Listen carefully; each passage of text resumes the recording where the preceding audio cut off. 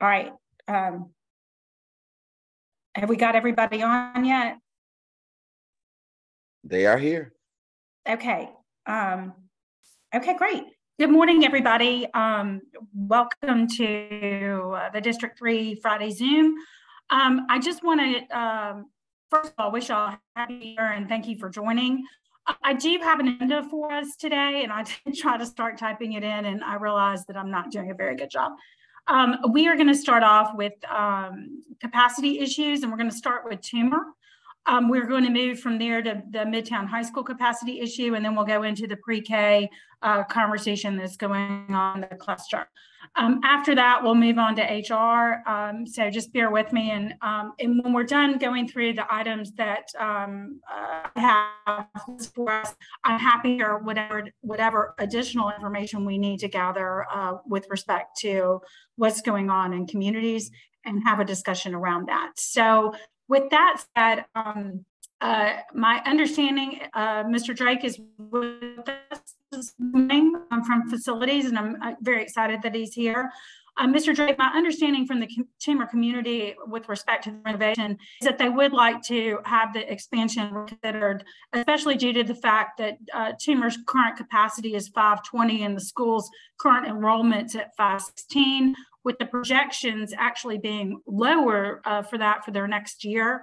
Um, also, I've been told that there have been many new addresses that are not in the APS system due to all the construction and development uh, in East Atlanta. Um, families moving into the area, um, of course, typically wanting to attend. Also, um, feedback that I've gotten from the community is that they would like to keep the Toomer community together um, and not, even though we have capacity at East Lake and have capacity in, uh, in other facilities, they would like to have the elementary schools stay together because it does have a very good, healthy blend of socioeconomic um, diversity. Um, it has really brought the community together. Um, and um, they are looking forward to going to Coan because my understanding is that there are many families that will be able to walk to Coan uh, during the uh, renovation period. However, they are asking that the administration please reconsider the expansion of the 10 classrooms to um, have the elementary school uh, closer to that 800 capacity number.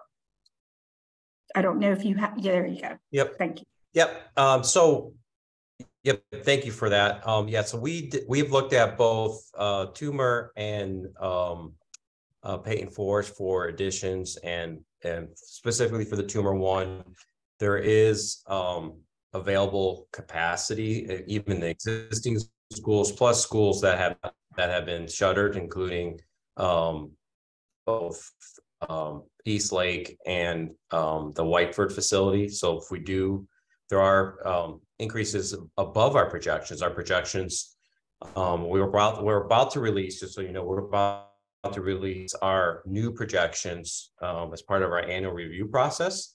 That's going to be on that February board. Uh, there'll be a, a report, our our first annual uh, capacity utilization report, and in that you'll see uh, well, there's a there'll be a, a table specifically for the Jackson cluster that we'll be looking at Toomer uh, their capacity at um, it's a little bit different number than I than than you mentioned the capacity of 588 um, and then our projected enrollment out two years because one of the things we're looking at in our new process is that we look out two years uh, with our projected enrollment of 465 um, and that will put them at 79% utilization so we'll, that number, that report is coming out. I'm just going to give you a little bit of sneak peek view of those numbers uh, specifically since you brought up. For. Yes. Um, so, and um, is something I, I think there is because of the amount of elementary school capacity that we have Jackson cluster, um, that if there is any type of we don't see it happening going above that uh, more than over the next few years, we believe their average utilization would be about 82%. But and if it does go above that, um, again, there's all these other options that we have.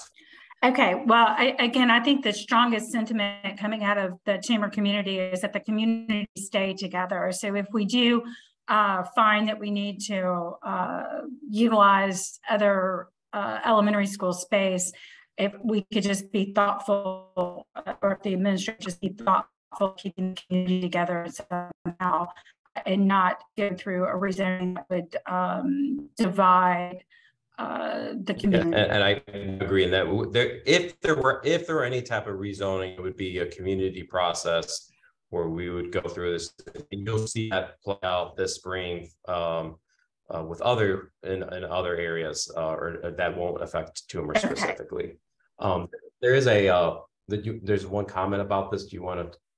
Yes, I'm sorry. I, I, I um, number of students in the zone that aren't currently attending there. Um, Marshall, uh, uh, uh, are you speaking specifically about Toomer? I mean, I think it's relevant to Toomer, but I mean, it's a broader comment, but specifically, yes. specifically in the Jackson cluster, historically along elementary school capacity, there's seemingly big difference between the number of kids who are feel like people feel like are living in the zone versus attending the local school. So I'm just wondering if it's something that we can look at in the future if if trends change and more people decide to um, enroll in the local school, like that capacity could fill up quickly. So it, it was just a comment. Sorry, it wasn't meant no, for no, that I appreciate question, but I, wish it's an exercise we'd go through. Yes, and and, and like I said, I don't know if anyone from the Toomer Elementary School has joined this morning, but um, it is a conversation that I've been having uh, with the community, and I just want to make sure that the administration is aware of their sentiment of wanting to um, stay together as a community. It's taken them a, a, a moment, so to speak, um, to to really find that synergy where the elementary school is really gaining momentum, and we certainly don't want to diminish that or un unweave uh, the, the community that's uh, coming together and moving forward. So whatever we can do to, to encourage that. Um, and, you know, like I said, they would really like to have the exp expansion, but I do understand uh, where the administration is coming from as well. Um, is there any comment from anyone with respect to the Toomer, uh, the Toomer renovation or expansion? I don't, I want to make sure that we're having these discussions now and not at the end of the, at the end of the when we go through the agenda. We've got quite a bit to go through. Okay, then I'll follow up with the community directly uh, offline. Um, on the next, uh, uh, Mr. Drake, the next piece I'd like to take advantage of is the Midtown capacity um, issue.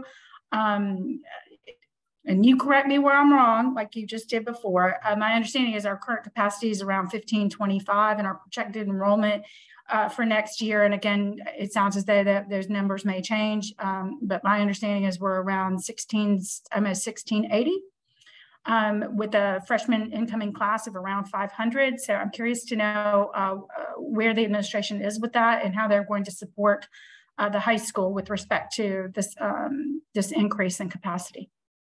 Sure. I don't know if Travis, if you want to take the first cut then I can come fill in some of the details on the capacity. Sure. To just walk through kind of where we are um, as part of the annual review process that came out of facilities master planning um, that launches this year. Uh, Dan mentioned uh, the board um, submission of a board report for February, uh, which just data. Then we go for those schools to be addressed, um, um, particularly overcrowding, because we're not focused on under enrollment right now. We'll then look at um, some scenarios with the community in March, with narrowing it down in April. And then if there is any redistricting or rezoning, that will be going to the board in May for first read, uh, with any rezoning decisions taking place in fall of 2024, not this coming fall. What we're doing, um, we're connecting this past fall, many of you participated in Chino's work with um, high school capacity and solutions, short-term and long-term solutions that um, do and don't include rezoning or redistricting. So we've kind of analyzed all of those and a working group starts probably next week, I think, an internal working group to see how do we support those schools that are facing overcrowding um, while we think of those longer term solutions that would be in effect starting in 2024. And so uh, principals are part of that, um, academics is part of it, um, equity um, to ensure that um, we're providing support for those schools facing overcrowding right now while we think of longer term solutions. Um, and I'll jump in if there's more questions, which I'm sure there will be after Tom talks uh, or uh, Dan talks capacity. And uh, board member, uh, the those that twenty five is is the is the capacity is correct, and that sixteen eighty six, I think it was sixteen seventy six for next year is is is the number that we have. Um, and for the again, what we're looking at is for the 24 25 school year, that number is going to go up to 1711 as our projection for, and you'll see that in that in this FEP report again, giving you a couple sneak peeks on that. So um, that's the number that we're going to be looking at because um, the spring process looking for the 24 25 school year. Okay. Um, so with that said, there, I know there's a lot, uh, Tamara, just, it was at your hand being mm-hmm, raised. Yeah, mm-hmm. please jump in. Whoever else, please, you know, either, um, and Keith will help me out, either raise your hand through the, um, the Zoom or, you know, throw a question in the chat and, and let's just go ahead and have a conversation about this. Yeah, if I could. Uh, so you say the the meetings internally are going on now, and principals are involved in that to, to figure out what to do to support them in the short term. Correct? Yes, ma'am. Okay, so if we're saying that there can't be any rezonings for next fall, right? So that's that that's what I'm hearing that there there will not be rezonings for next fall. Um, then I mean that's a lot of kids over, you know. And so what I mean, I think people are wondering what do we look at? I mean, are we looking at trailers? Sure. Um, and then for, for next year. Yeah, and, and Dan may have some other ideas or may share as well. But part of this is also looking at potentially looking at how the high school is currently being operated or being run, how classrooms are currently being used high school level, um, core classrooms versus non-core classrooms, which determine the capacity rate, um, and seeing what can be done um, to support there. Um, also looking at scheduling or other areas. What we've committed, the community has shared. One of the things that have come up over overcrowding and under enrollment over and over again is having um, some awareness and plenty of time before decisions are made. And part of the review process was to make decisions in the spring, but give people a full year of transitioning um, of the next school year before we implement redistricting and rezoning. So we're trying to stick to that timeline of giving people as much notice um, as possible. Uh, then I'll pass it to Dan if he wants to talk kind of capacity specifically to those schools. Yeah, so specifically for Midtown High School. So Midtown High School has 94 um, classrooms, instructional units, core, you know, total classrooms in the building, 94 classrooms. That includes the addition. Of those 94 classrooms, 61 are core classrooms. And the reason I'm bringing this up is because it's really that 61 um, times the 25 is how we get to the 1525 capacity. What when I looked at this, they had, um, and it's based on kind of an equity review, they had 68 classrooms um, they thought were core. We've, as part of our annual review process, we um, first we do enrollment projections and capacity calculations, and then we meet with the principal or we send it to the principals. They have the ability um, to talk through that. So when we sent that number over we did, uh, Principal Bockman and our team met and we um, agreed that the 15.5 number based on how they use the building currently is the number. There is opportunity though that we could take some of those, if we can get that 61 number of core classrooms up by a couple classrooms, X number of classrooms that would help with the overcrowding and the, there's other type of things as as Travis mentioned, whether it's scheduling and and all that type of thing that we have done um, for school year uh, before the 24 25 redistricting effect. But I mean, you're considering when you do this, like the education delivery here, because I wouldn't want that to suffer the experience that the kids have just to fit more kids. In, sure. In I, I, will say this. Um, if you look at across the district, we looked at at all the high schools and you look at what percent of the classroom core, Midtown High School is the lowest by far.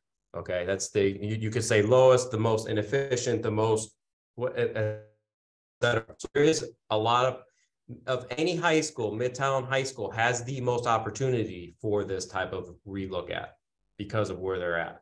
So when we when we put the addition on the high school, we um, put more non-core classrooms versus core classrooms. And this is something that we can look at um, in our working group that we've got for next school year. So when do you think people will know what what is going to be done for next year? When when when will the community um, hear something about um, how it's going to be addressed?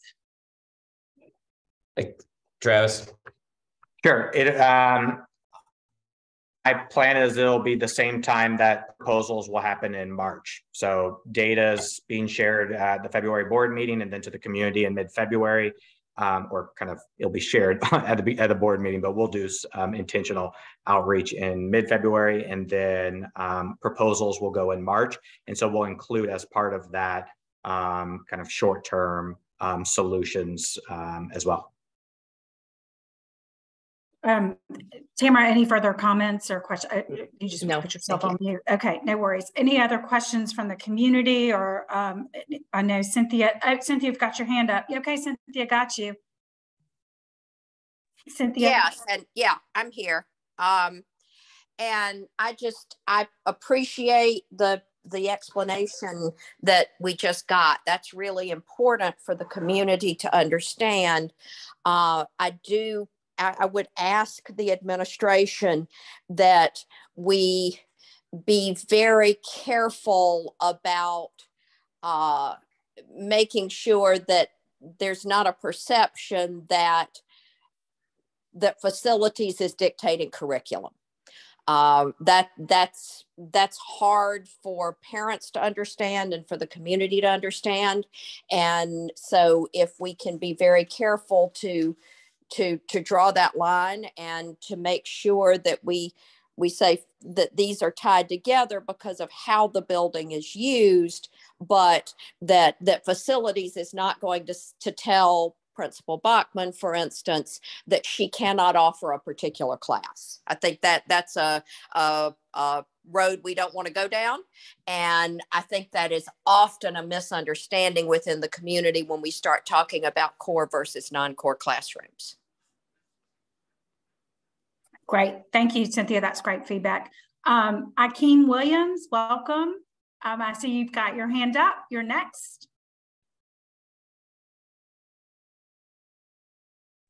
Hey, how you doing, Michelle? I'm sorry. I have Yeah, no worries. Good morning. Um, I was um, just joining the, the, the meeting to um, voice my concerns. You know, I'm out of Mays cluster still, but um, and this is the Midtown cluster meeting. But one thing that I don't see across the district um, is empathy, integrity, and compassion. Like it's like a lot of leaders don't don't they're not passionate about what they do for our students. It's fifty six thousand thousand students and only one innovation center. How is that solving anything. Um, our students are not being are not graduating um, ready for college and career. It's just it's like the curriculum is being dumbed down or watered down, and the the standards just keep changing. Just like the state of the district yesterday, we still don't know what what's going on within the district. We have a plan for 2036, but what about in between? How do we make sure that these students are prepared for success? Um, corporations, yeah, they come in and they can help but when budget cuts start happening, won't funding for education be the first thing to go? Because they're not supposed to be. I mean, I'm not going to say they're not supposed to be, but typically when they have layoffs and pay cuts, and they have to look at their budgets, is going to be like, oh, can we just cut out this program? Can we cut out that program? And then where we're at, we're back at square one. So what like I don't even know what the state of the, dis- the district is. Like in previous years, we we had measurable results. We had numbers. We could say, oh, this is what we're trying to get to. This is how we're getting there, and this is how we're measuring our success. I don't see that across this district. Um, well, across the whole entire district, the APS district is is is mind blowing, and that's my only comment for today. Akeem, I appreciate it. And please don't ever feel um, as though, you know, this is only about Midtown. The District 3 is, you know, not just uh, representative of a little piece of North Atlanta, Midtown, and Jackson, but as a, your District 3 representative, I'm, I'm, I'm one of nine members on the Board of Education that's here to serve the entire district. So I really do appreciate your comments. And I know that uh, plenty of folks from the administration are here to hear your feedback and can um, and share that so that the administration can uh, uh, potentially provide more information to the community about where we are now and we where we are headed to get to that uh, 2036 goal. So thank you for your comments. Um, Dion, I see your hand up. Good morning. Yep. Uh, Board Member Olympiadis, before we get to Dion, um, just for clarity, are we are we opening it up for all concerns or are we trying to are we No, we're trying with... to focus on Midtown right now. Um, okay we still have, you know, I know Mr. Jake's limited on time and I still want to get right. to That's what I was trying to. So I'm trying, trying to make, make sure we, we stay on Midtown. And if you have additional comments, we're going to have plenty of time. Y'all know that I, I, give you as much grace as I can when we're here. I'm not, we're, we're, I'm here as long as you're here. So, you know, if we need to go till five o'clock, I don't know what we're going to do, but we'll go till five o'clock. um, Dion, I take it you're talking about Midtown because I saw some of your comments in the, in the chat. Good morning. Good morning. I'm sitting at the tardy desk at Howard, so I apologize. I'm multitasking. Um, yes, I do have concerns about Midtown. There's rumblings of trailers um, coming back, course offerings being taken away. I will have a ninth grader there next year. Um, right now is decision making time to apply to charters, to apply to admin transfers, to apply to private schools. Um, we need to know if the experience at Midtown is changing now um, for next school year. Um, we've seen this happen time and time again in this cluster that things change and we are not informed before um, those items are changed and then the school year happens and we are shocked with what happens. Um, we are asking to be part of this process now. My question, um, Travis and others in facilities, what role at this point do parents and staff outside of the principal have um, in the current charter contract that APS has with the Georgia Department of Education in school-based decisions and a seat at the table um, to say how we would like our school to be run. And some of these says on academic decision making core classrooms et cetera. And i appreciate cynthia you elevated this concern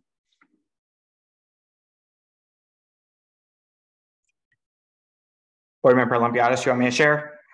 Yes, please. I, I, I trust y'all with this. sure. Uh, morning, Dion. Yes. Um, so I'll, I'll put the timeline back. We're we're engaging community, so I would suggest um, coming out and uh, joining us in our conversations that will start in February.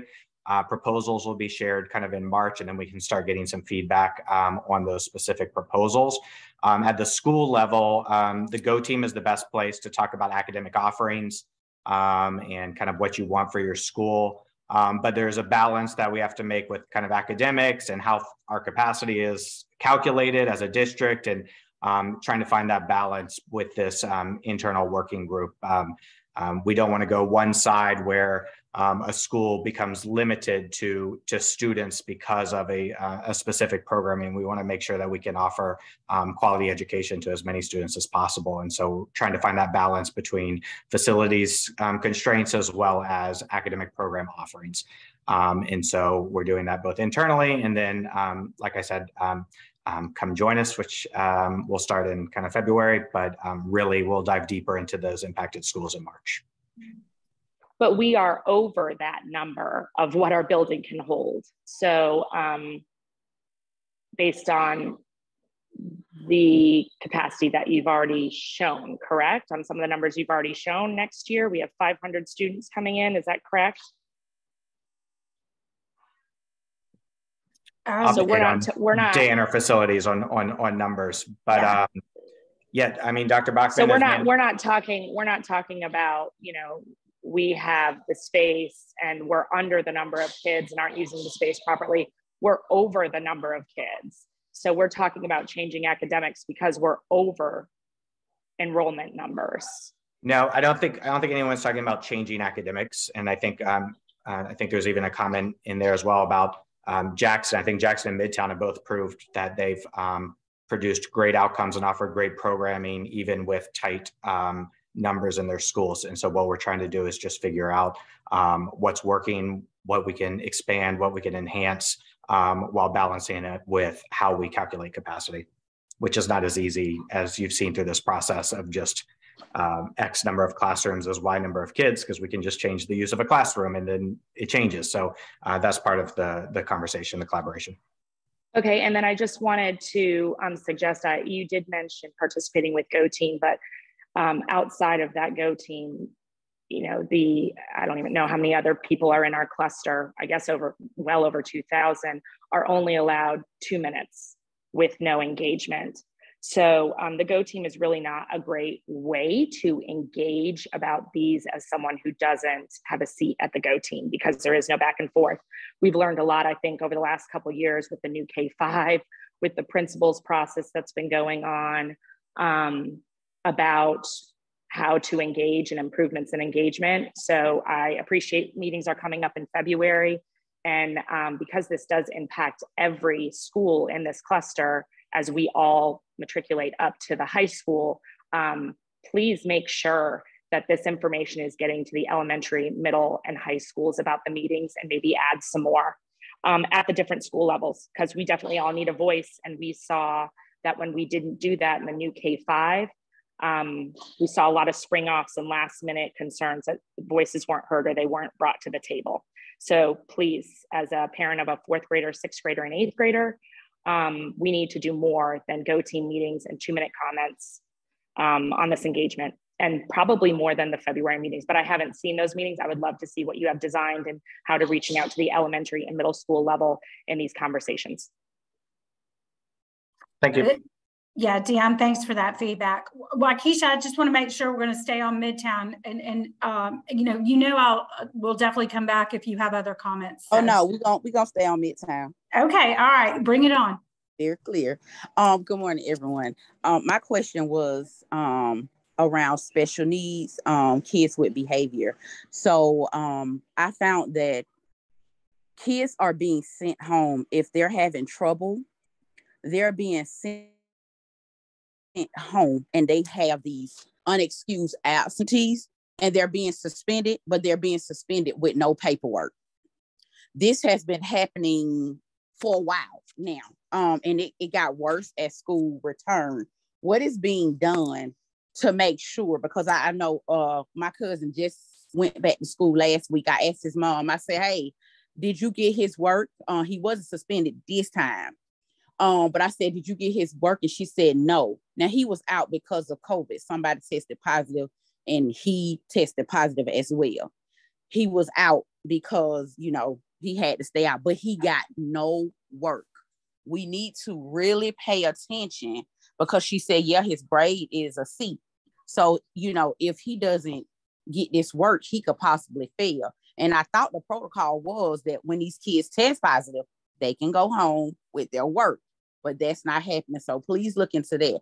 But back to the unexcused absentees, because that that I don't know how they're marking that as well when they're out, other than it's unexcused. But when these kids are having issues in school and the school don't want certain stuff to reflect in the records, it's an unexcused absent. And that's absolutely unacceptable. Um, if you're going to suspend them, you know, send them home with the proper paperwork. Don't tell a mom who has to work or have other priorities that, hey, um, you need to come get him. Like this is what parents are hearing. Come get him, come get her, you know, and keep them out for a day, two or three, then they can come back. Um, I don't know who can speak to that and why that's happening. And it's not just happening in the Midtown cluster, but since we own Midtown, I know personally it's happening there. And not the high school, but inside the cluster. All right, Waukesha, I appreciate that feedback. Um, Travis, we have anyone who can help with this? I believe Dr. I want to put Dr. Florence on the um, either Dr. Florence or, or uh, Dr. Smith. I'm not sure if either of you um, have feedback on either special education or discipline or anything from Ms. Howe. Yeah, uh, good morning. I can I can jump in to start. Certainly, um, you know, with the discipline, Miss Howe, and, and in, in the opportunity, if uh, they certainly should uh, should have the we have policies and procedures and we should be following those policies and procedures and you know if a child has uh, received uh, discipline, they should be uh, that should be documented, um, and then they should also have the opportunity uh, to to make up their work in an excused absence uh, situation as well, which is a separate uh, piece. My my encouragement would be um, in the absence of Mr. Brown being here today, who's our associate cluster superintendent, to be reaching out to that school and um, engaging with the leadership at the school level first and foremost. But it's certainly I appreciate the the feedback, raising that, and it's something that you know that our team can uh, t- can look into because you're absolutely right. Um, there should be uh, we we have procedures around that that we should be uh, always following. Right now, for the record, I did um, send Mr. Brown uh, email uh, when this was brought to my attention last year, but they had a whole investigation going on at the time, so I don't know if he had access to his email address at the time. But I haven't seen him no more since then. Um, I did reach out to the school leadership, but it's clear that she um she just send the kids home. You know, she just asked the mom, you know, stop whatever you're doing, come get him or her versus he has an IEP or she has an IEP. There should be a plan in there to make sure. And I don't know if Emanya Four is on the call, which she should be. Um, but it, you know, he he should have a plan or she should have a plan um, that, you know, if something happened. But what we found out is the reason why he was having an issue because the principal said, I don't have enough teachers to make sure that these kids are in the proper place. So that's a whole nother story. But that is the reason why kids are um in situation where they probably will get in trouble because you have a lot of kids in one classroom and they they they shouldn't be. Yes, yes, ma'am. I pre yeah, I appreciate this uh, this feedback, and and we will our team will uh, will follow up with you for, so we can uh, address the individual situation, but appreciate it as as a as broader something to to be aware of. So thank you. Mm-hmm. You're welcome. All right, Waukesha, thank you, um, and uh, thank you, Dr. Smith, for for uh, helping out with that. Um, Cindy Ivy, good morning, welcome. Uh, ready to hear uh, your comments or questions? Good morning. How is everybody doing? Um, addressing a couple of issues. Um, number one, the overcrowding in Midtown. I'm not um in that cluster, but I can speak on overcrowding um because of the school that I've been in that has been overcrowded. My concern with the overcrowding, and I share with the other young lady that uh, spoke before, Waukesha, I think her name was Dion, if the school gets too crowded, then how will the kids be able to get an effective education? It's hard enough now for the teachers to teach the kids effectively with 25, 30 students to a classroom. If you're having over the number of kids and you don't know what you're going to do, then I agree that kind of ties the hands of the parents to be able to opt into moving their kids or taking advantage of the out of zone transfers, if you may, going to charter schools or private schools or to another school that can handle the capacity. The danger in that though is that when you move them and your attendance get low, then we have conversations about needing to close schools and merge schools and then they still get overcrowded. So I'm mm-hmm. just a little bit concerned being a parent, being a PTA member, and a Go Team member that kids will not be able to get an effective education if the classes are overcrowded. Teachers can't teach effectively. We're overcrowded. Then going to, you know, the question about special needs kids. If the school is overcrowded, then how do we service effectively the need the kids that have special needs, learning disabilities? You can't service them in a school that's overcrowded.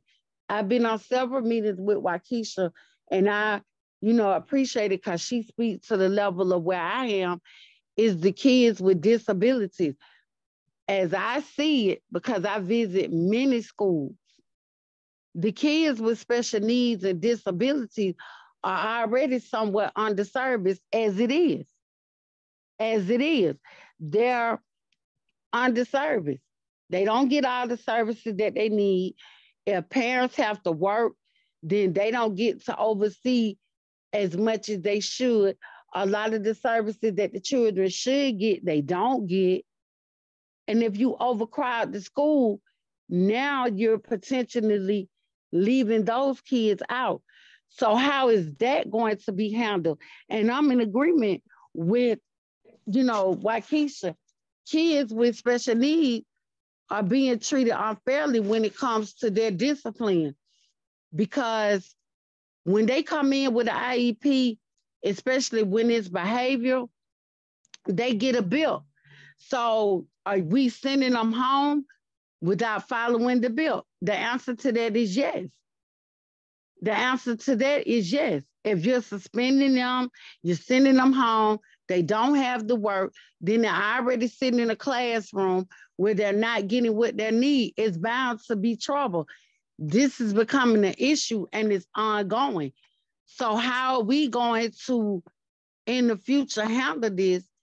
And sitting here, now I'm a little bit concerned because you're about to be overcapacitated with kids that are coming way beyond the enrollment of the school. So how are all of those needs going to be addressed?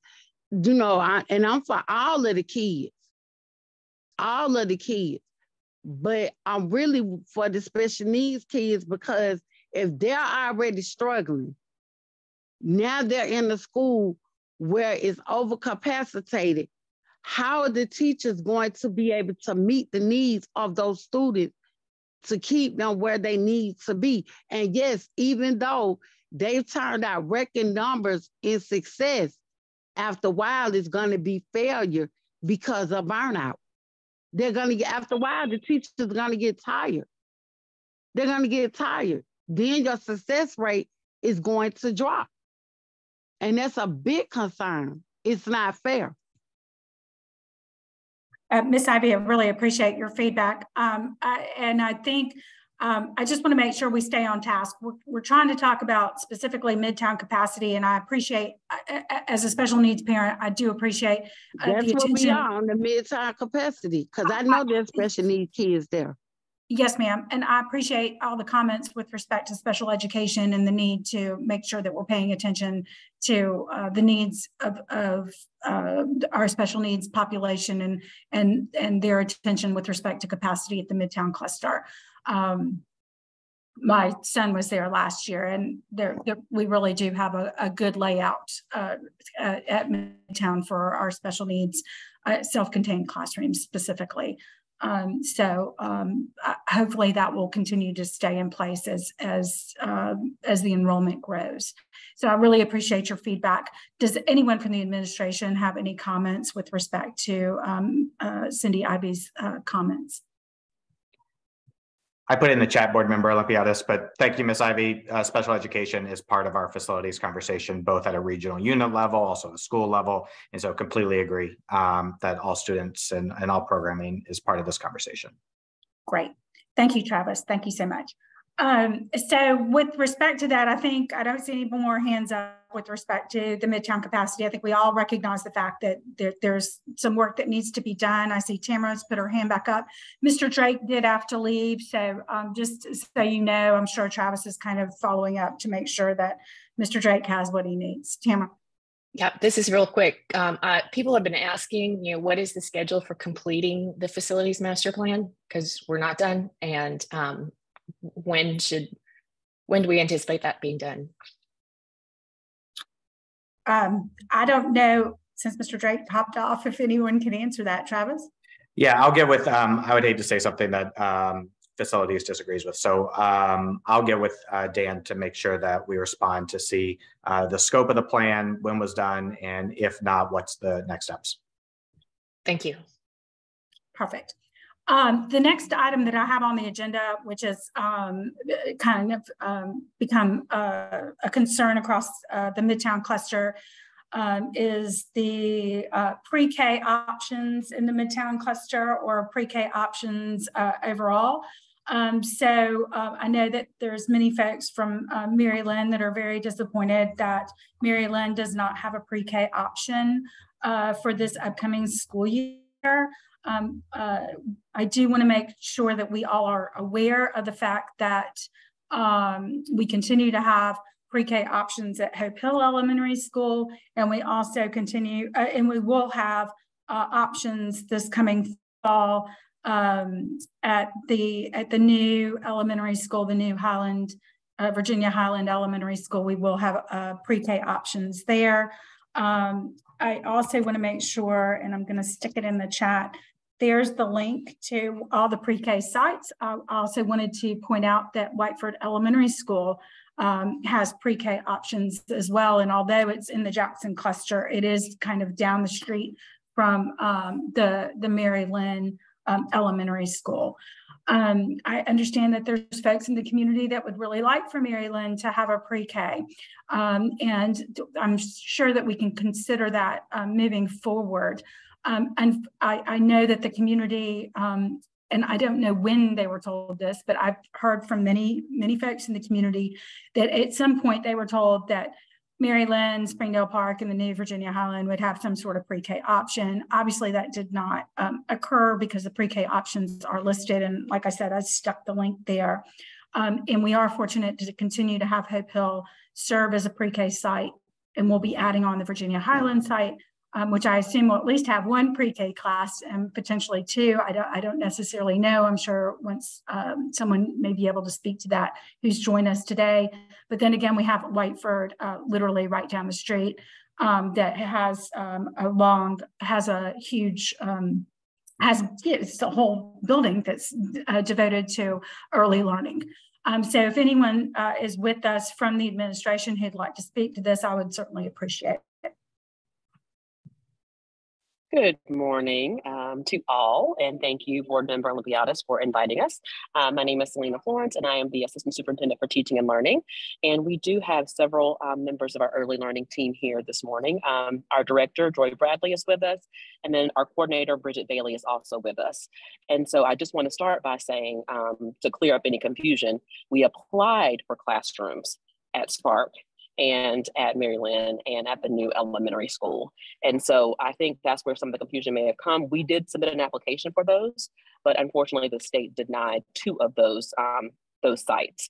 And so I will let um, Bridget Bailey speak to more of that, that it was our intent to have it's our intent to have pre-K at every school, um, but we do have to go through a process to make sure that happens if they are going to be funded by the state.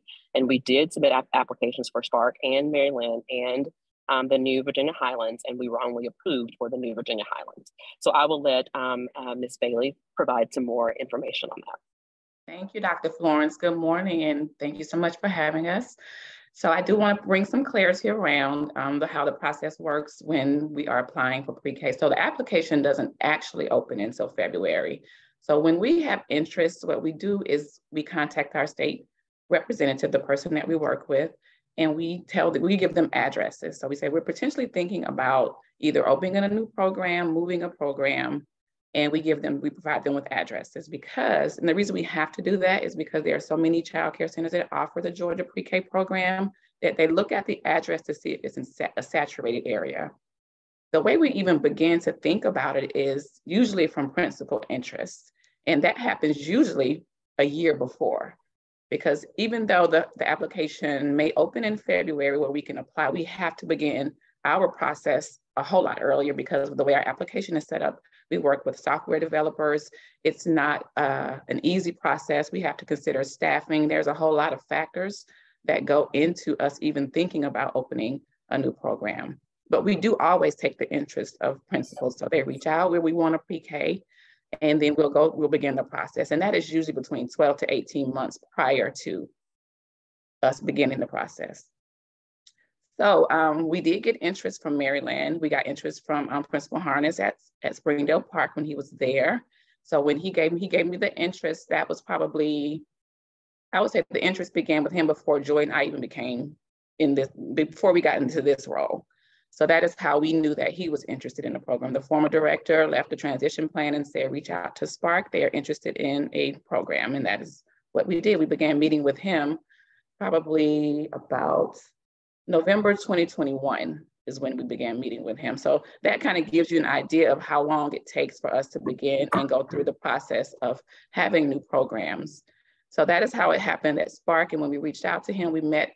And then at one meeting, um, that is when he told me he was going to be the principal of the new elementary school. We submitted the address. The state came back for Spark and said, we have uh, child care centers in that area. It's already saturated and they're not full.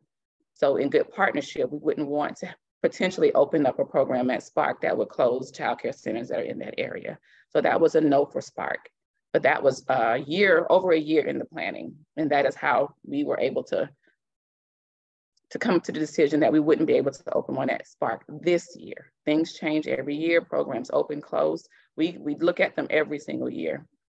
At that point, Principal Harness then stated, well, what about Virginia Highlands? And I was like, okay, I didn't even know, you know, that there was a new school opening. I don't know how I missed it, but Virginia Highlands. So I sent the address into the state preliminary to, to check and they said, that's fine. There are not any childcare centers around that school that you would be competing with you're more than welcome to either add or move a class to that school. That is how we came up with Virginia Highlands. Mary Lin reached out to us first in October of this year. Mind you, our application opened on Monday. So she reached out on in October, which is way past the deadline that we would usually begin our planning process. But we still were like, okay, let, us see if we can work Mary Lin in this some kind of way. I reached out to the state and they and they did say, well, there aren't any really competing daycare centers. What is your enrollment looking like? And that is when I went back and had to start digging through our data to kind of just look at our enrollment overall as a district and then in Midtown cluster. We do know that there are interest surveys that went out. Um, I believe they began looking in October, you know, to see if there was even interest in the community. And it came back pretty, pretty high level of interest for Midtown. So we do understand that there is a, a want and a need in that, well, a want, not necessarily a need in that area. So it was definitely on our radar, but it wasn't on our radar until October. So because it takes 12 to 18 months to do the beginning planning of opening a new program, which we weren't doing this year, Dr. Florence, we actually were moving um, programs this year because of our low enrollment. And to give you just an overall picture of what that looks like, pre-COVID, our enrollment was 97% the year of COVID, it dropped to 77% total enrollment in the district. We went back up to about 90, and this year we're at 91. So when we think about opening new schools, we have to look at our overall enrollment district. I mean, our overall enrollment as a district, and then we break it down to clusters. And that is how we can go to the state and say, as a district, we would like to apply for new classrooms. So a lot of factors go into us making the decision to open a new classroom, which we are not doing next school year at all. We are only moving a class to Virginia Highlands from low enrollment area to Virginia Highlands because we do understand that there was only one option, which was Hope Hill in Midtown Cluster. We want to continue to grow in that cluster because we do see now that enrollment is growing in that cluster. So that is kind of an overview of why Mary Lin won't be getting one this year and why Springdale Park won't. Now, Mary Lin will definitely be on our radar now that we know we have plenty of time to plan for the next school year. In Springdale Park, we can come back to the table with the state again and have them look at the address again to see if that's a possibility as well. But that is how our, that is our plan on how we're going to increase our enrollment and our pre-K options in the Midtown cluster. But yes, Hope Hill is an option. Virginia Highlands is an option. They don't have to be your zone school for you to apply. You can apply to any program within Atlanta Public Schools for pre-K. And I know that was a lot, so, and I know we have a lot of questions popping in, so I'll be happy to go answer them. If I can get some help in the chat. Uh, yeah, there's, it looks like there's plenty of questions in the chat, and I see that um, Emily has raised her hand. Um, okay. Good morning, Emily.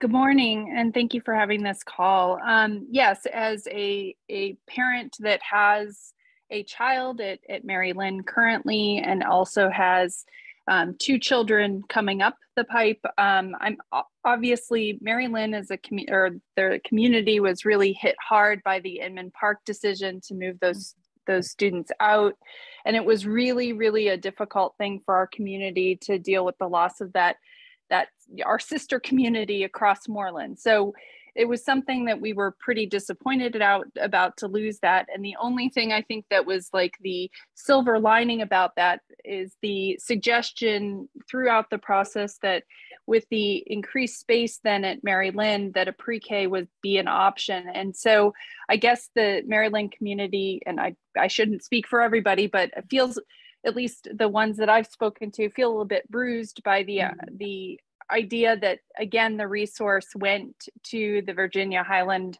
right. um, you know school. So I, I I think as parents I would kind of speak to what Dion suggested earlier, which is how uh, as we have as parents can now advocate for this mm-hmm. uh, because this is something that I think is really important as we kind of rebuild our our school and kind of you know go forward with a, a new you know kind of a new era of Mary Lin um, and certainly um, building that community as as we heard earlier about the Toomer uh, elementary school how, how can we do that as uh, parents so long story short how can we advocate harder as parents from a pre-K Mary Lin? Yes, I definitely um, understand. It's it's it's wonderful to be an advocate, but we have a process, and it's it's very difficult to go outside of the process because we work on timelines when it comes to anything that we do through the state. It's it's a state funded program, so we are definitely looking at it for next school year, but the timeline has passed for this school upcoming school year it's it's driven, it's data driven, it's enrollment data driven, and it is um, we look at wait lists in the cluster. Hope Hill doesn't have a wait list. If it had a wait list of two or three classes, I could probably have pushed something, but it doesn't. So we have to look at the data that's associated with how our process works with applying for pre-K classrooms. And it's not just a state, we have processes through the Office of Early Learning as well.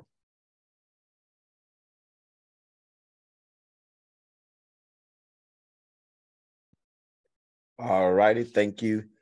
I think board member Olympiadis ran uh, had some technical difficulties. So uh, board hey, member Keith, Don- can I Keith, Yep, can I ask a question that's in just I wanted to capture a couple of the questions in the chat for uh, Ms. Bailey and Dr. Florence. Um, if if there is no um, pre-K funded through the district, basically, are there any other alternatives? So, are does there exist um, private pre-Ks in current public schools?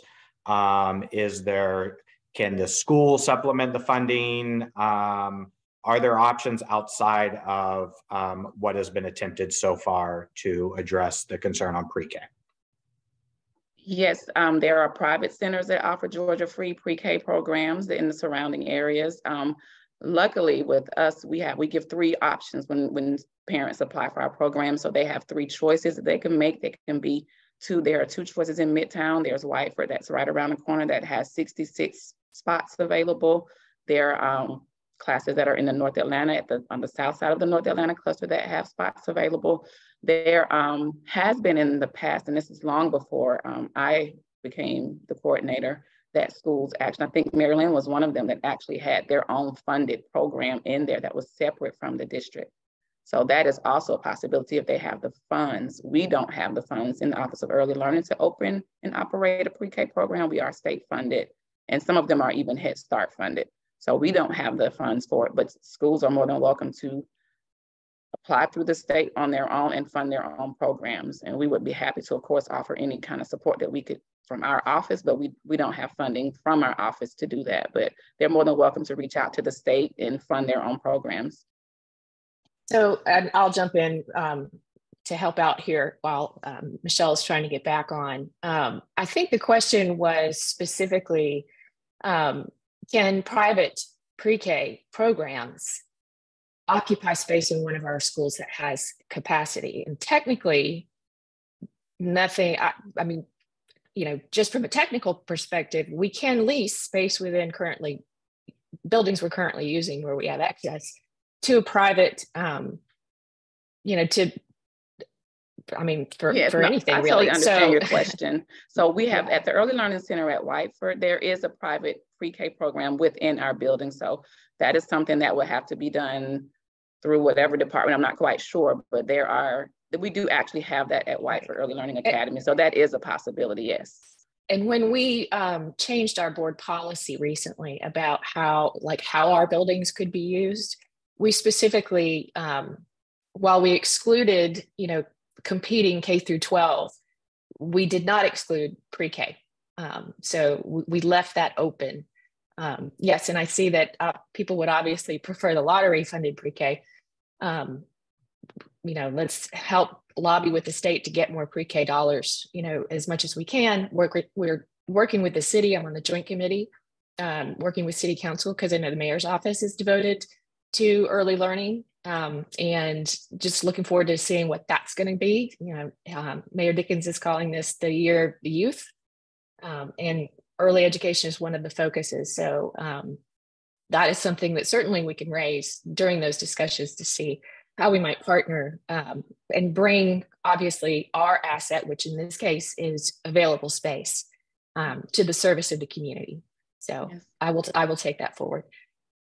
And it is our goal to have one in every school. That has been our goal. It is still our goal. We just have to have a process. And when we're looking at numbers and we're still considering it's post-COVID almost, but we are still recovering from it. And our numbers are, are going up, but they're not where they need to be for us to be asking for additional funding because we are still, and I'll give you just, just one more thing, one more fact is the state, we, we were short almost four, over four classes this particular school year.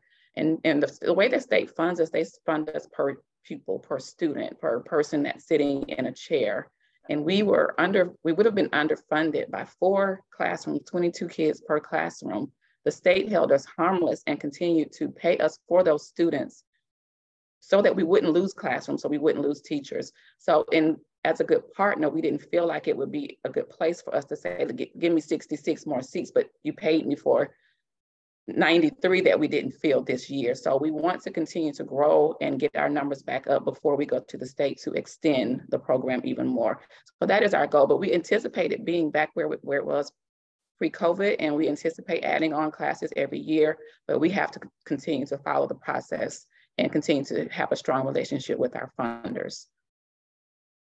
Um, right. Thank uh, you. Thank you. Yeah. Thank you, Bridget. Um, uh, Paula, I see your hand is up. Good morning. Good morning. Um, I just wanted to give a very brief history to Ms. Bailey. Thank you so much for your participation. I'm learning a lot. Um, Mary Lin had right from the start pre-K. It was state funded the whole time. Yes, Okay. state funded outside of the APS pre-K program. But Yes, yes, that's what we're saying. They can housed, definitely be, but they can apply and have it, they can apply themselves for a state funded program. Yes, absolutely. Yes. Okay. Thank you. Okay. Thanks, Paula. Um, Sherry, good morning. Welcome. Hi, good morning. Um, well, it looks like Travis actually just answered my question. So um, I don't, Great. I don't, I don't have one. Sorry. Okay. No worries. No worries No, at no, all. if, for those who are driving, just if you reach out to me, I'll um, I'll connect you to the facilities team. For those places that are interested in leasing space, I'll put you in contact with the right person so that um, they can talk about how that works uh, with Primavera or other uh, entity. Perfect. Thank you so much, Travis. Um, is there any further comment about pre-K uh, with respect? Um, um, I really appreciate uh, Ms. Florence and uh, Ms. Bailey just going through what the process has been and how uh, we work with the state to try to get these programs in place. Lisa, I see your hands up. Good morning. I, I just just a comment because I'm not affected by the pre-K. I'm not a Mary Lin parent, but I did listen to all the meetings, and it feels like this is something of a gap in communication where I remember, you know, part of the benefits, as we heard, was the silver linings being that more schools could have pre-K, which as even as a parent who's just more interested in more pre-K for the sake of our uh, Atlanta, um, that was a benefit for some of the disruption. So I just feel like that maybe could have been better explained, the process, um, rather than just throwing out, hey, you know, one of the benefits is more pre-K. But oh, by the way, there's all these other, you know, there, there's no guarantee. So I, I definitely did not hear, I, I don't think any of us who've never been through this really understand the complexity. So just, you know, just a thought for next time, if if those APS is a big organization, lots of moving parts. So I think if if silver linings are put out there, maybe just you know give all the warts and all perspective of some of those so that people don't feel like they're losing out on something maybe they thought they might get with some of this disruption. Because i find these explanations really helpful in understanding. I go to a lot of meetings that's the first i've ever heard and ms bailey thank you because that was um, a great I, from my perspective i thought it was a great explanation. Thank you. Thanks lisa. Um, yeah. Um, I think we've all learned a lot this morning with respect to pre-K and um, appreciate everyone's advocacy around trying to support the Midtown cluster and, and our continued growth. Um, I'm sure we'll start to see that over um, in East Atlanta as well, and we'll need uh, Whitefoord will continue to to grow and fill up, and we'll be using space over there much sooner than than we uh, particularly uh, may have anticipated. Um, all right, so uh, I think we've pretty much covered capacity and facilities. If anyone has any further comments, um, let's take them at this time. Uh, and then I'd like to move on to uh, some other issues that we, we have. Okay, then hearing none, I want to go over some of the some of the comments that I've heard from the community uh, most recently uh, with respect to uh, what is going on. Um, I want to start with this one that is quite sensitive and, and be very direct about where we're going to go with this conversation, which is really nowhere today. I, I have received a tremendous amount of uh, feedback with respect to what is going on with an HR issue at Springdale Park.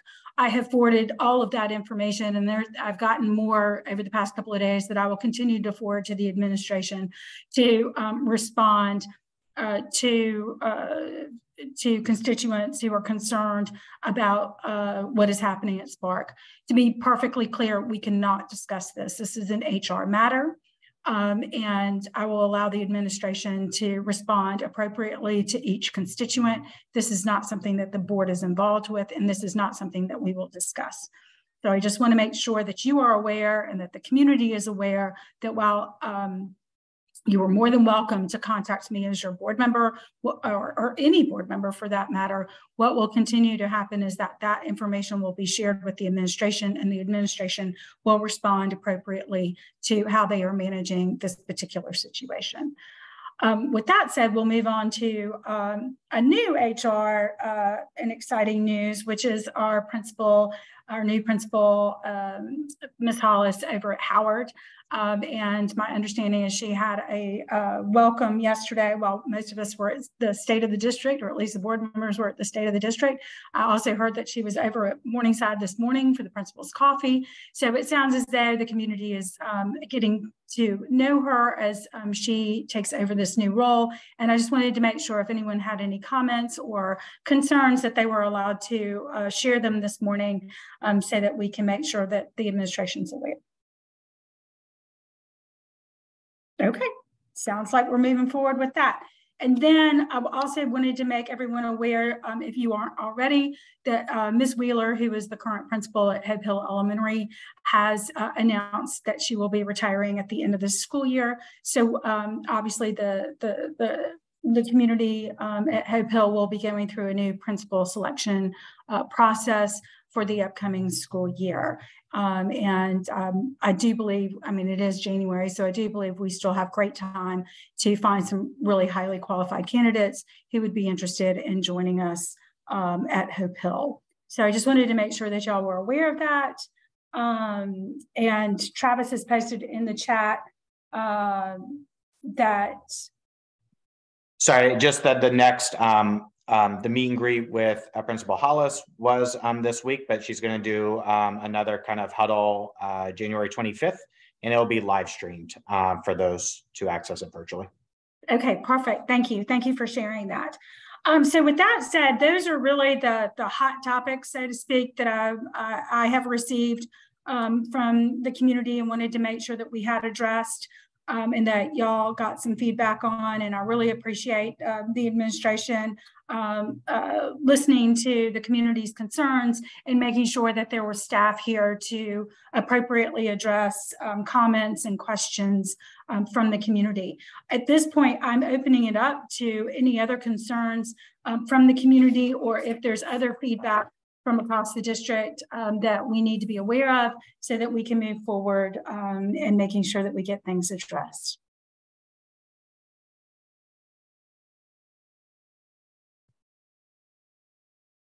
Okay, are y'all sure? Because with that said, ah, there's Paula. Okay, go on, Paula. Um, I just wanted to thank, eh, while everyone is here, um, Keith Glass, uh, who attended last night's Atlanta Council monthly meeting with the uh, APS student advisory team. And uh, Keith, would you, if you don't mind, drop the student council initiative into the chat so that everyone here in the Midtown cluster can see what the student advisory group is is taking on. Um, you have done an inspiring job, Keith, and thank you very much for really getting in there and working uh, diligently, walking your talk with our students, with our high school students. It's a big challenge for you. And I just want to let everyone know that um, anytime we don't love Atlanta Public Schools, let's look at our longtime folks who have graduated from APS and have taken their own experiences and lives and put them forward to our children. And that definitely is Keith. And um, I see Keisha nodding. She is someone like that too. These are our APS graduates. And we are I am so proud and thankful. And Michelle, thank you so much for coming last night. Our students are, you know, are on a path, and um, the future is bright when it comes to engagement and community voice in Atlanta. And that's because of people here in this room who really do care about our kids. So I wanted to acknowledge and uh, thank you for a great meeting last night. And I hope you will thank your students on behalf of Atlantans across the city who sat down and listened to them. Thanks, Paula. And I also want to recognize that my colleague Tamara Jones uh, joined as well and was able uh, yes. to yes She was did. able to uh, Mhm. participate a little bit longer than uh, than myself because I had a previous meeting and was uh, but was glad I was able to catch uh, catch the majority or, or a good part of your meeting as well as board member Mitchell. So we Right. had three board members last night spending their time with our high school students and Keith and also uh, Rose uh, Prejean Harris, who is doing a great job with the students with SEL. So we have a lot to be proud of. So thank you, everybody. I just wanted to acknowledge. Great. Thank you, Paula. Um, I see that Jessica Johnson, as y'all may know, is our newly appointed uh, seat nine representative on the Atlanta Board of Education. Hey, Jessica, good morning. I'm so glad you were able to join us.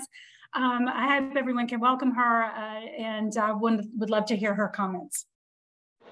Yeah, good morning. I, w- I had an opportunity to dial in a little later and just to listen, but I just wanted to formally introduce myself as the at-large Seat 9 representative and looking forward to having an opportunity to meet you all and, and learn more about your, your community needs. Thank you.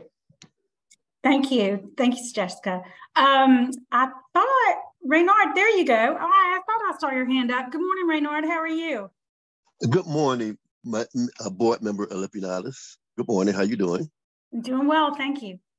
I have a quick question. How can someone find out the breakdown of since it, since this was discussed earlier regarding um, students that were being sent home or suspended?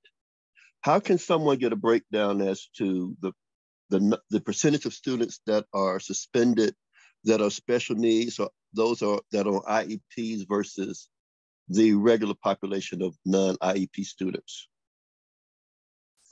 Um, I, I'm sure we could provide that information. Um, I, I will have to ask. Um, that's,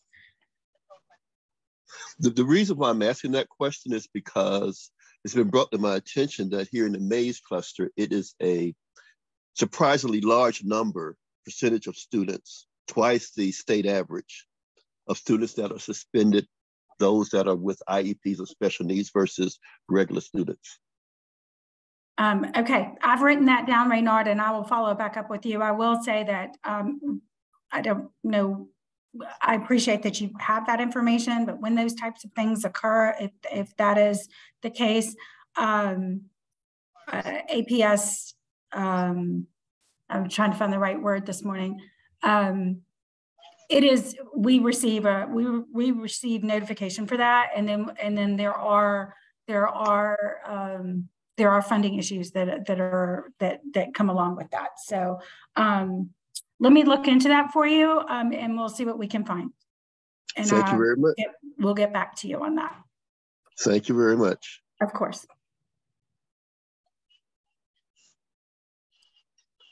All right. Uh, any further comments? Uh, uh, Jessica's back on. Yes, Jessica, is your hand still back up, or is it still up, or did you have another comment that you wanted to add? Sorry, it's still up. I couldn't get it. Oh, there we Uh, go. No worries. No- No worries. I just wanted to make sure. Um, are there any further comments or questions or anything that we can address or answer this morning, especially since we have so many folks from uh, the administration here? All right, then um, hearing none, I really appreciate everyone um, joining today. Um, my understanding is. um, We have one more, uh, board member Olympiadis, Maria. Yes. Tell me again. Hey, Michelle. okay. Hey, Maria, how are you? Good morning. I'm, I apologize. Oh, no, that's okay. I, I was trying to like unmute myself and then raise my hand at the same time. So um, I had a quick question. So I've had a couple teachers recently who have expressed frustration that they are still continuing to test for COVID on a mandated basis, weekly basis. And it comes at the time during their um, planning time. And I think that's also been a concern about planning time that the teachers don't have enough. And um, it, it's kind of concerning to me as a parent that now of a sudden, you know, I've got an elementary and high school kids. In the elementary schools, they're doing some of the testing during the planning time and or in front of the children. And I'm wondering when it's going to end or when it can be made more of a choice to give that time back to the teachers. Um, is there anyone from the administration who can answer that? Uh, I don't see Dr. Hildreth. I'll um, I'll reach out to Dr. Hildreth and see what the plans are um, for COVID testing. Okay, all right, Travis, just let me know. And um, Maria, you have my number, don't you? I sure do. Thanks, Michelle. Okay, yeah, just uh, just text me over and um, and and then when I hear back from Travis, I'll let you know what the response is and um, and make sure we get you answered. Okay, great. Thank you so much. Yeah, of course. Have a great day. You too. A good weekend. Uh, any any further questions or comments from anyone? Um, and I'll go ahead. I, I, I don't. When I say that that she has my number, all of y'all can have my number. It's not. Um, it's you know, it's not some sort of Doo number. Um, Akeem, yes, you have a, a final comment for us today. Yes. Um, I just want to know. Um, well, I know it's the board's governance to hold the leadership accountable um, and APS. I just see time and time again APS leadership um, having more and more issues, and it's affecting the 56,000 customers. Um, when are we going to address their issues? They don't get a second chance at education. And it's time for people to stop playing education and actually do the job of educating our scholars. The funding, the tax dollars, um, is almost being wasted at this point. We need to do something for our communities, for our schools, to make sure our students have the best foot forward. Um, I'm a product of for APS, and I would like to see more successful products of APS.